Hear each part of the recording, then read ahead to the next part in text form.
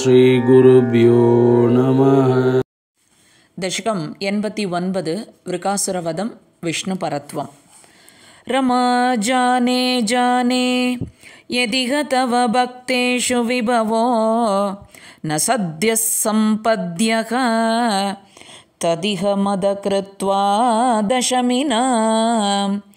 प्रशान्तिं कृत्वैव प्रदिशसि ततः काममखिलं। प्रशान्तेषु क्षिप्रं न खलु भवदीयेच्युतिकथा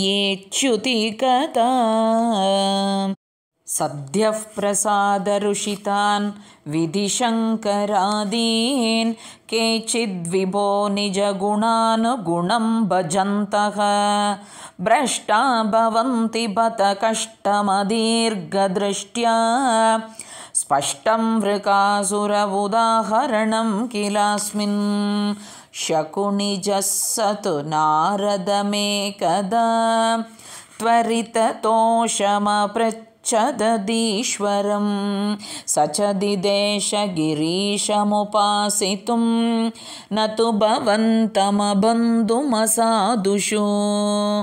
तपस्तप्त्वा घोरं सकलु कुपितः सप्तमदिने शिरश्चित्वा सद्यः पुरहरम् उपस्थाप्य पुरतः अतिक्षुद्रं रौद्रं शिरसि करदानेन निधनं जगन्नाथाद्वौरे भवति विमुखानां क्व शुभदीः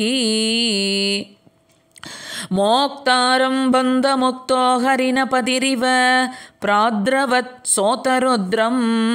दैत्याद्भीत्यास्मदेवो दिशि दिशि वलते पृष्ठतो दत्तदृष्टिः।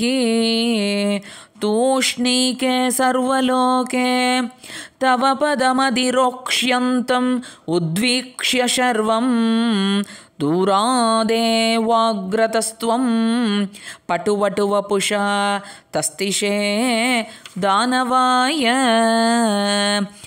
भद्रं ते शाकुनेय भ्रमसि किमधुना त्वं पिशाचस्य वाचा। सन्देहश्चेन्मदुक्तौ तव किमु न करोष्यङ्कुलीमङ्कमौलौ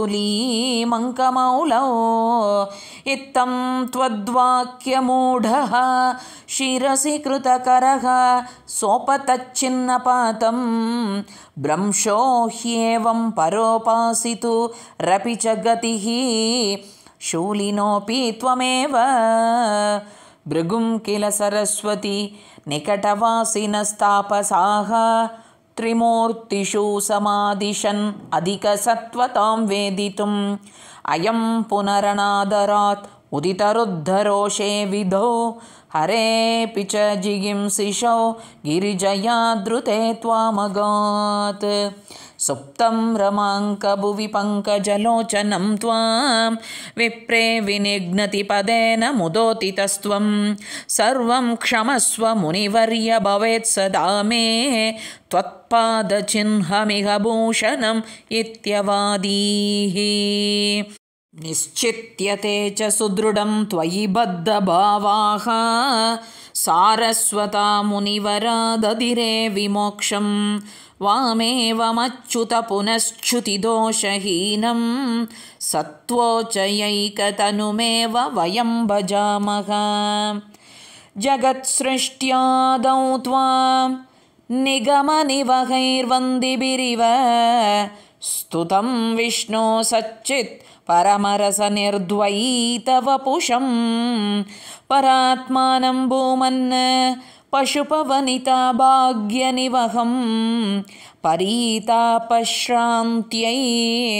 पवनपुरवासिन् परिभजे। सर्वत्र गोविन्दनाम सङ्कीर्तनं। गोविन्द गोविन्द